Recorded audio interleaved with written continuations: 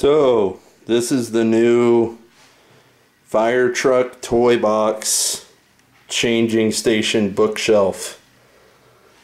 All in one. Uh, so I'll give you a little look down. Here we go. Here's the back. That's uh that's a ladder. You can't take that off. I nailed it on there and super glued it on and everything. Liquid nailed. Here's the bookshelf slash uh, I think where you put the uh, baby powder and stuff.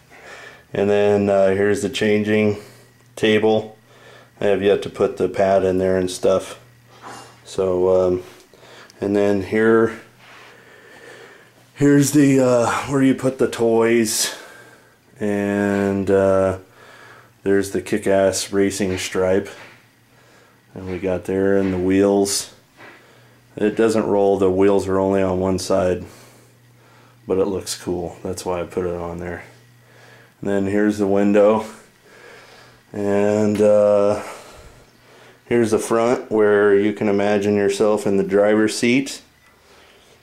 Uh, little baby is going to have hopefully uh, uh, a lot of fun times behind the uh, imaginary wheel of his own fire truck. And here's the light bar. They're just reflectors.